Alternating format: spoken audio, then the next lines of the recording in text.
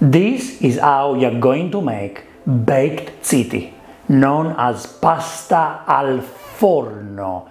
In Italy, young people, 25, between 25 and 35, have ranked this pasta as best pasta in Italy.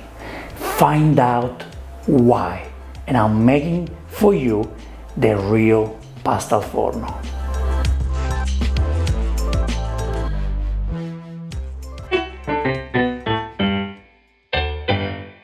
Hi and welcome to Vincenzo's Plate. Guys, we have some really important steps to follow, okay?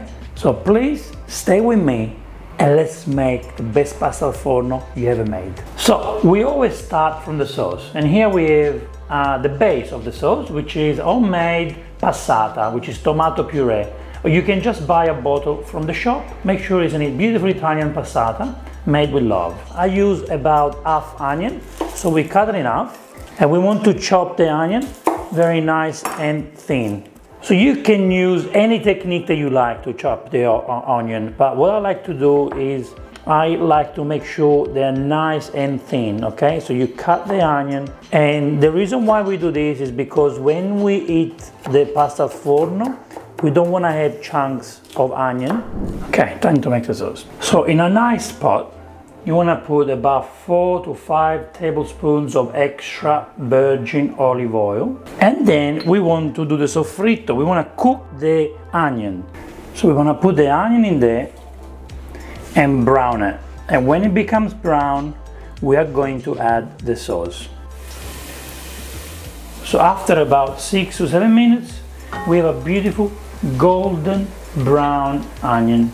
Look how nice it looks. So it's time to add the sauce. The beautiful homemade sauce or Italian passata from the shop. Look how beautiful it is. Make sure you stir it properly so you get the onions to go everywhere. For this recipe, I like to use two bottles of passata just because we need the beautiful sauce in this pasta. I like to add a pinch of rock salt to my tomatoes because it gives the beautiful, beautiful flavor. And if you have some leftovers, let's say you're not going to use all of it, you can always keep it in the fridge for the day after or for the week. You can make anything you want with the extra sauce. At this point, we want to cover the tomato sauce and slow cook it on a low heat for about 30 minutes. So the sauce is ready, but now we need to decide what ingredients we are going to use for our pasta forno. Let's learn more about pasta forno and the history of pasta forno. In Sicily, they do use uh, mini meatballs. They do use a type, of uh, round pasta called anellini. They put lots of pecorino, they put ricotta. In Naples, they put mini meatballs and a pork ragu next to it. Uh, in Calabria, they like to put salami, they like to put meat, they put peas, eggs. In the north, like Emilia Romagna, they put bechamel. Uh, see, like in Naples and in Sicily, they use ricotta. In Emilia Romagna, they put bechamel. Where I'm from in Abruzzo, we don't put bechamel or we don't put ricotta, uh, but we like to use peas, we like to use eggs, we like to use mince, uh, meat means or meatballs. What I'm doing today is I'm going to show you a way, a classic way of making uh, pasta al forno using pork and veal. It's a mince, it's nice. And then we're going to cook them slow cooked in extra virgin olive oil until the meat becomes nice and soft. The other ingredients I'm going to add today are the eggs, beautiful hard boiled eggs. I'm going to add cacciatore salame, Calabrese style, nice and spicy. It's a Calabrian inspiration. So now in another pan, I'm going to add some top quality extra virgin olive oil, about three spoons. And then we add the pork and veal mince. And this needs to be cooked, slow cooked, because you don't want the meat to stress. You want the meat to be relaxed and to be nice and moist. Try to break it so that we get small pieces of meat. We don't want big chunks of meat because this needs to be spread in the pasta later on, like when you make a lasagna. I like to cover it so we keep all the steam inside which help to cook the meat and it will help to keep the meat nice and moist. So after about five minutes, you have a look.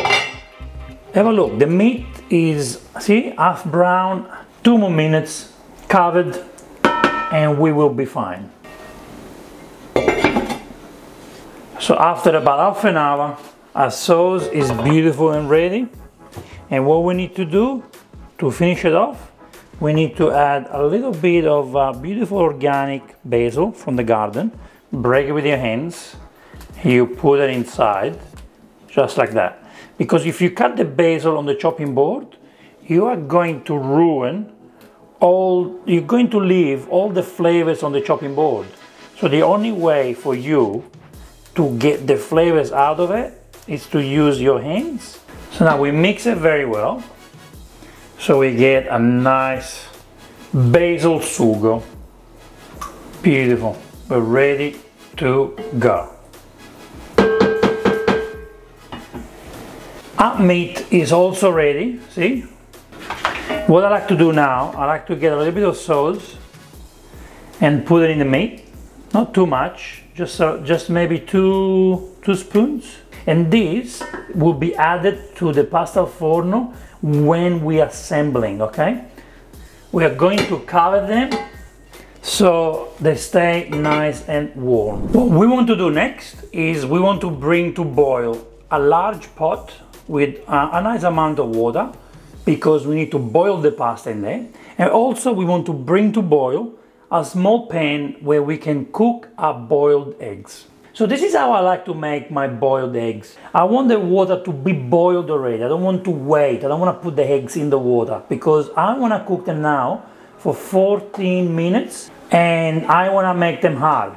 You can make them or you can cook them for 12 minutes if you don't want to make them too hard. But the reason why we need them hard is because we're going to cook them in the pasta. Uh, you don't want them to be too soft. Okay, it's been 12 minutes now. Here I have water with ice because we need the eggs to get cold straight away. We only need to make them cold. So what we do now, we get the egg, we put them straight in the ice and we leave it there for a couple of minutes until they become nice and cold. Now the classic pasta for the pasta al forno are rigatoni. They're good and they will become crunchy to perfection. The top part of the pasta al forno needs to be crunchy. Ziti are great too. And in America, you love ziti and they're very popular. Here in Australia, we don't really find ziti very easily. They're not common. You can use conchiglioni as well, but they just, I don't know, they're good, but they don't become as crunchy on top, as good as the rigatoni or ziti. So go for rigatoni. Interesting because in Sicily, in some parts of Sicily, they use anellini, which is like a round pasta. And that doesn't really become crunchy, but it's still delicious. Time to cook pasta. Guys, when you cook pasta, always use a large pot and put a nice amount of rock salt, okay? So we are cooking half kilo pasta and the pasta I chose are rigatoni just because they're beautiful, they become crunchy on top and for me it's the perfect pasta. Okay, this is an important topic. How long do we cook the pasta for the rigatoni pasta forno or ziti. My advice is don't listen to most of the people who tell you you cook the pasta halfway. It's a big no, simply because not many people are used to al dente pasta.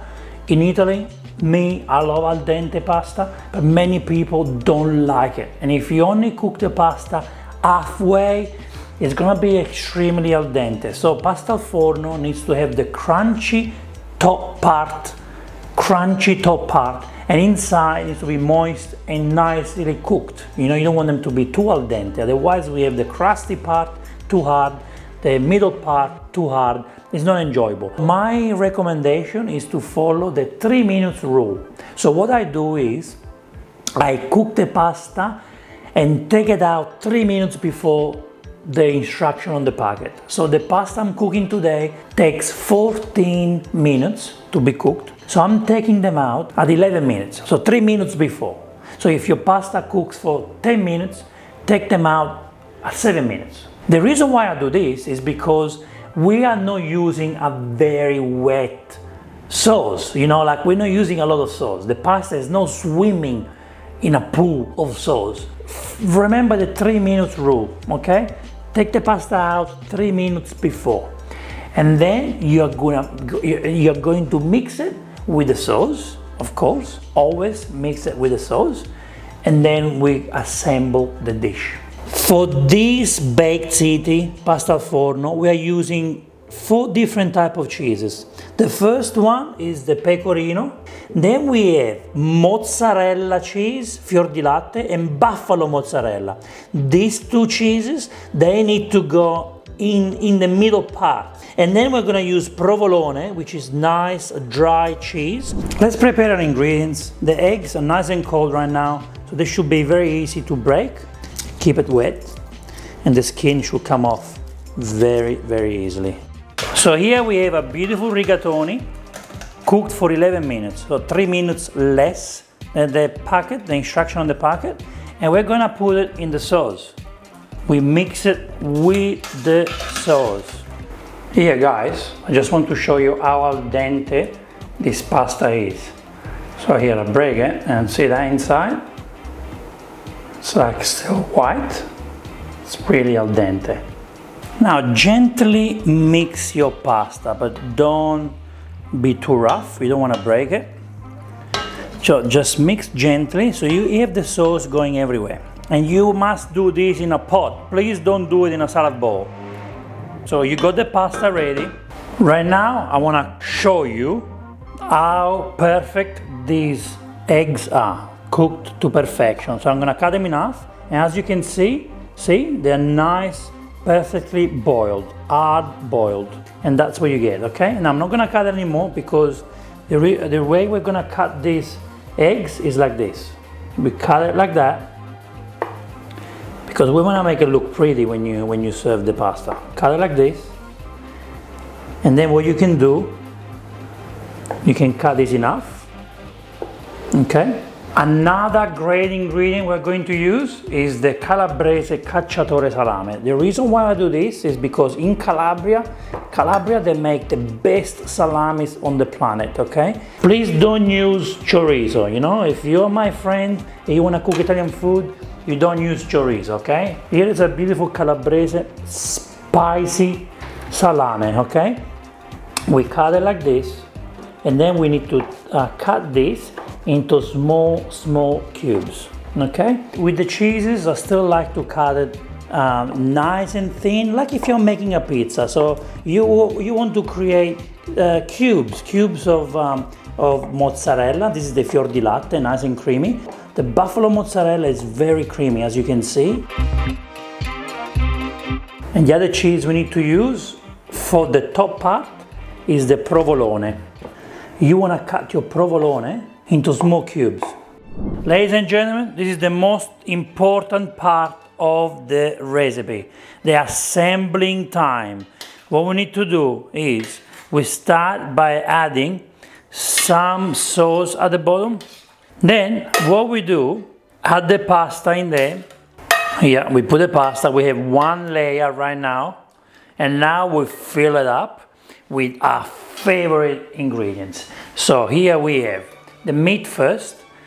Now, if you want to use different ingredients, go for it.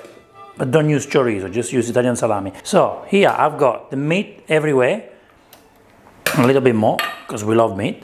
And now is the time for us to be gentle. So, first we want to add the mozzarella fior di latte. Then we want to add the pecorino cheese and you want to be very generous with the pecorino cheese. You don't like pecorino? Feel free to use parmigiano. Now I'm adding the salami, okay? So I've got salami. And then we're gonna add the eggs, but you wanna spread the eggs in a way that you see them when you eat them. So spread them around. And then again, we start again with a new layer. So we put more pasta on top. You can do more than one layer. You can do two, three layers. And now I'm starting again with the provolone. Remember I told you put the provolone on the top level. Then I go with the meat. Just be, be gentle, be nice, be generous. And then a nice amount of salami on top. Here I put the pecorino cheese on top. And here need to be very generous guys when you do this. And then we put the eggs on top again. I've got some more salami here. Let's put more salami. Look, I've got some buffalo mozzarella left. You don't have to put it on top, but I've got some left. So here I'm gonna put some more on top. And now we're ready to bake it at 180 Celsius degrees for 30 minutes or until you see this pasta to become nice and crunchy. You want the pasta on the edges here to become crunchy. Here, do that, press it. All right, we're ready to put it in the oven. Okay guys, here I want to show you what's happening. It's been cooking for about 20, 25 minutes. As you can see, the edges are not crunchy. I mean, they're crunchy, but then we, you want them to be kind of burned. Like they need to be, they need to look a little bit black. See, this one is all on the way, not not far. I will say in 10 more minutes. So in total 35 minutes, and it's gonna be ready. So it, really depends of your oven. Sometimes your oven can be stronger. So just keep an eye and then you will tell when it's ready. This is the pasta forno you've been waiting for. And finally, the most important and best part of the video recipe. So this, I'm going to eat this by myself. Well, I think Susanne is gonna have some if I don't finish it everything. As you can see, it's cooked to perfection. I've got these beautiful crunchy parts on top. I've got the moist pasta inside, still al dente but moist, if you know what I mean. So let's see how it is. Mmm.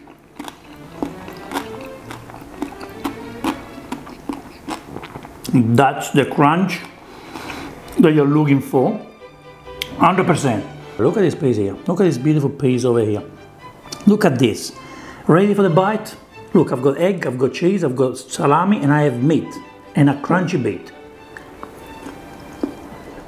So thank you so much for watching this episode. We will see you on the next Vincenzo's Plate video recipe. E ora si mangia. Vincenzo's Plate. Mm. Yes.